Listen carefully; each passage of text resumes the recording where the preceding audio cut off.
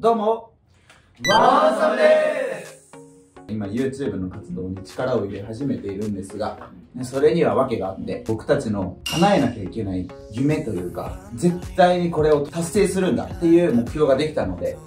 みんなにねこれを伝えていきたいなと思います、はい、3年後に東京ドームワンマンソールドアウト。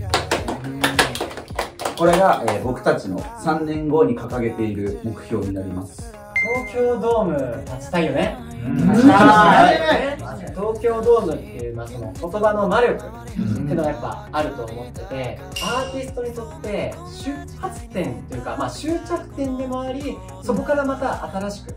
出発するっていうステージだと思うんですね、うん、その東京ドームを選んだところっていうのはやっぱり東京でよくその本拠地というかやってるので他のドームというよりかは東京ドームを選ばせていただいた感じですね、うん、東京ドームでやりたい。この間岡山で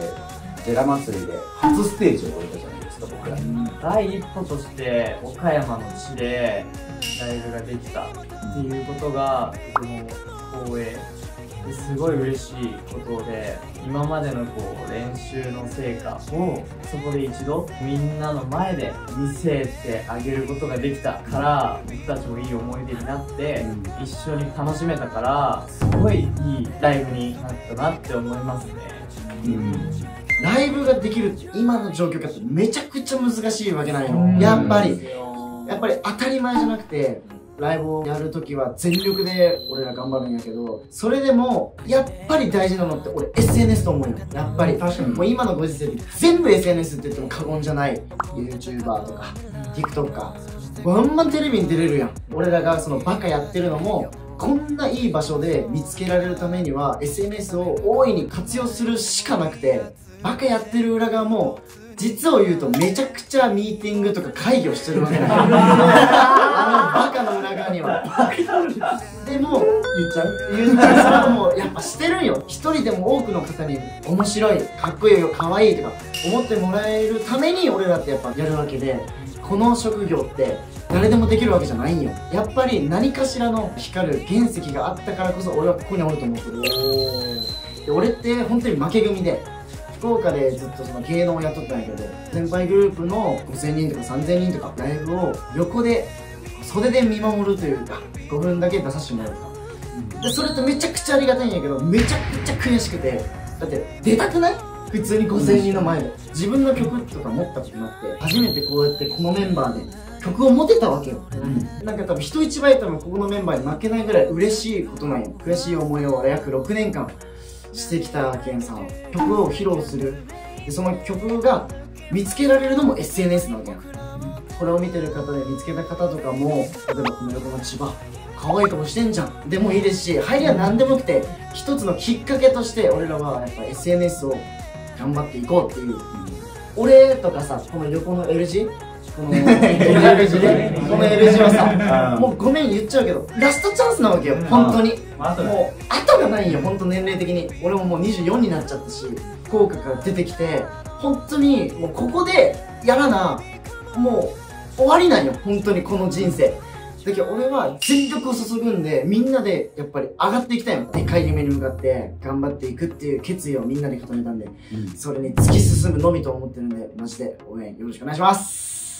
正直通過点として考えていて、まだ先を俺らを目指してるからこそ、3年で絶対俺らは東京ドームに行くっていうことをみんなで話し合って、えー、決めてたことだったから、他にもこう YouTube だったりとかもっと活発化させようと思って、今俺はもう編集をひたすらやってる状況なんですけど。マジでありがとう。いやいやいや、ありがとう。本当に僕たちが出会って、まあ、約1年、うん、オーディションっていうのを行ってて約1年経って集結したこの8人、うん、オーディション期間中はデビューメンバーに入りたいアーティストになりたいっていう各々の目標があって一つの通過点として、まあ、メンバーにはなるで僕は1回、まあ、落ちちゃったんですけど、うん、まあ、やっぱりこのメンバーでまあ、大きな舞台に立ちたいアーティスト活動していきたい歌を歌っていきたいっていう思いもあってまあいろいろありましたね。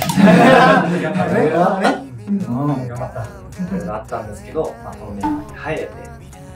アーティスト活動するにあたって誰もが一度は目標として立てるであろう東京ドームという大きな舞台に僕たちは長くて3年で立とう。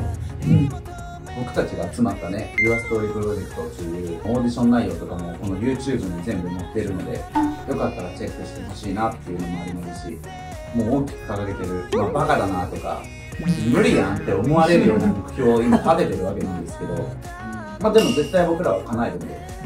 でやったあるぞっていう気持ちでいるんだけどみんな3年後に東京ドームワンマンでソールドアウト。これってどうしても僕らだけが頑張っても絶対到達できなくて応援してくれるみんながいるからみんなにもやっぱ協力をしてほしいしその道のりを一緒に歩んでほしいなと。協力の仕方はいっぱいあるしちょっと気になるなと思ったらチャンネル登録をしてくれたりとか各種 SNS もやってるじゃないですか、それをねフォローして見てくれたりとか動画作って拡散してくれるでも、その拡散って行為見るとみんな盛り上がるの。うわそれってみたいな。すごい嬉しいからぜひしてほしいな。大きい目標に向けて目標っていうのか1年後にはこれしたいなっていうのがあってゼップツアーとして全国を回れたらなって思ってるのでそこに向けて僕らも頑張るしみんなも一緒に歩んでほしいなと